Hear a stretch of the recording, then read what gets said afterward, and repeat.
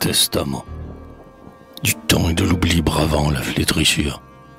J'ai porté mon amour superbe par les cieux. Laissant couler mon sang, j'ai caché ma blessure. Et mon rire navré bu les pleurs de mes yeux. Ne méritant de toi ni pitié ni colère, brisé mais non vaincu, j'attends l'heure de mourir. De ma longue vertu dédaignant le salaire, pour toi j'ai tout perdu.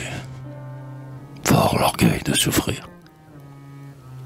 Je savais que t'aimer était une œuvre impie, et j'ai jeté mon être en proie à ta beauté.